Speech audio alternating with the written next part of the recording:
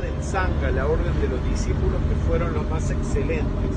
Ahorita vamos nosotros en nuestro auto viajando por espacio de seis horas y media desde, el, desde donde el Gautama vivió en Sravasti al lugar donde el señor Gautama desencarnó y estamos utilizando estas horas estudiando el Tripitaka, una parte del Tripitaka que nunca ha sido ni traducida ni publicada en castellano y por las artes mágicas, se puede decir, de Fernando, Mario, sus discípulos, logramos conseguirlo y estamos con la traducción que también hizo uno de nuestros estudiantes, leyendo esta maravilla, la verdad es que bastante incomprensible, porque habla de los kalpas, de los mahakalpas, de las reencarnaciones de los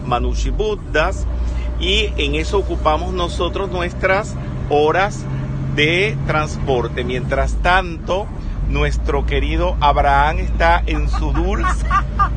querido Abraham estaba en su dulce sueño en el mundo de los Sukabatis y estos cielos maravillosos donde viven estos extraordinarios bodas.